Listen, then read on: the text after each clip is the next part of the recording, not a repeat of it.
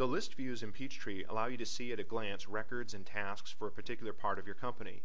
We'll discuss ways to view, create, and edit records and transactions from lists, as well as to customize these lists. To view a list, select List from the menu bar, and then select the particular list you want to see.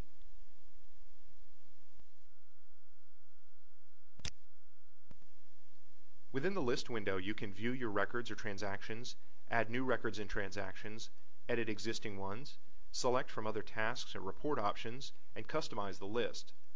On the left side of the list window, Peachtree displays tasks and reports associated with the particular list that's currently being displayed. Click one of the links to open that window and perform the task or view the report.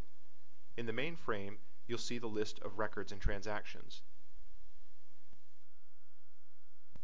Click the New button to create a new record or transaction of the selected type.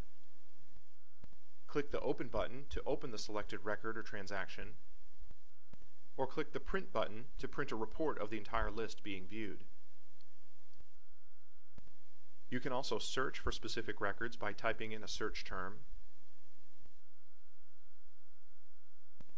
and then select the field type to be searched.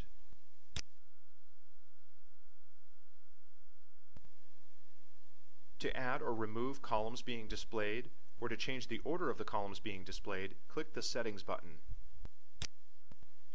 To add a column, highlight the column in the Available Columns list and click Add. To remove a column, highlight the column in the Selected Columns list and click Remove.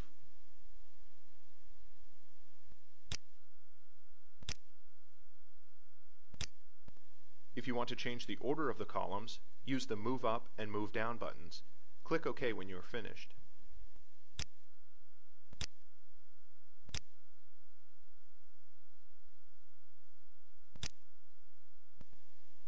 To change the sort order, click the field label in the column that you want to sort by.